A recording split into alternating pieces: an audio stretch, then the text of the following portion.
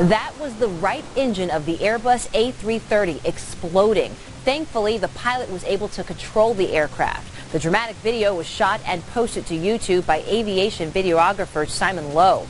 An airline spokesperson confirmed that the incident was being investigated.